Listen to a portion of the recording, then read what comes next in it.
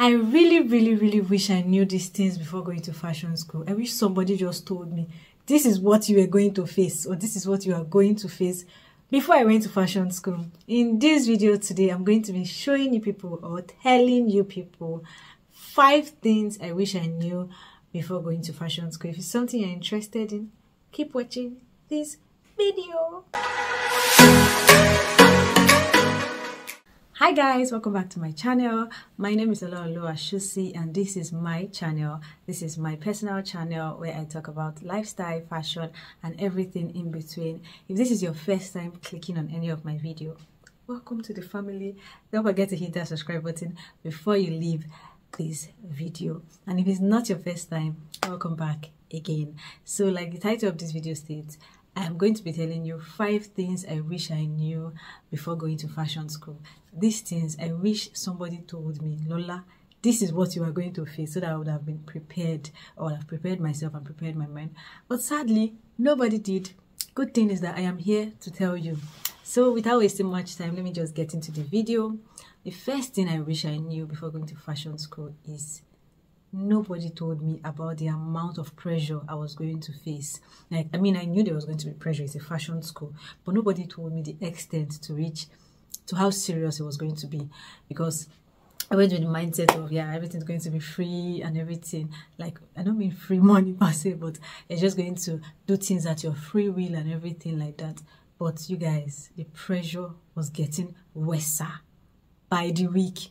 We, they gave us assignment that you had to submit, voluntary assignment you had to submit, things like that with short notice. You can get an assignment today and submit within three, four days. So I feel like they were using that to build our, to just build our, I don't know if I'll call it confidence or build our speed as designers but it really helped me and it wasn't really shocking to me because i'm the kind of designer that's always been used to working with pressure so it wasn't really really um, difficult for me.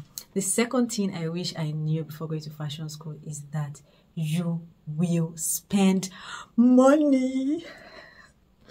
Hmm, I don't think I've recovered from the money, the amount I spent in fashion school. If you don't have money, okay, and not all, sure, but if you don't have money and you're going for an advanced class in fashion school, even beginner's class, I think you should try and gather your money. I don't know how much to tell you to gather, depends on your school, but you need money, not just school fees. I, I, I went to my fashion school through scholarship, but I still spent money because you buy things, you are going to do your practicals, you need to submit your practicals. So money, money, money.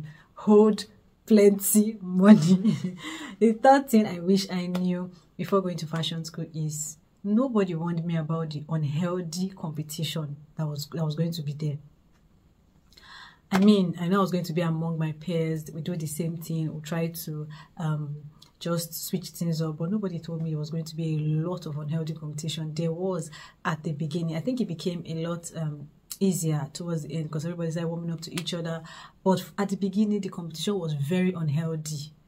This one wants to make this one that is better than this person's, so this one wants to, and it just to me that causes like confusion. It, to make you lose your lose the reason, the major reason why you are there, which is to learn, and then you'll be focused on competition. At the end of the day, you see that maybe you didn't even learn anything because you were focused on my cloth must be the best. So the fourth thing I wish I knew before going to fashion school is you have to ask questions. I know it may sound like ah uh, uh, before on call, you know ask questions, but not like that. You have to ask questions. Reading between the lines, you have to ask questions. If you have something you're not um you're not really um, understand, you know, you don't understand that has been taught, even the one that has not been taught, ask your questions. Ask them. The ones that will be answered will be answered. The ones that will not be answered will not be answered.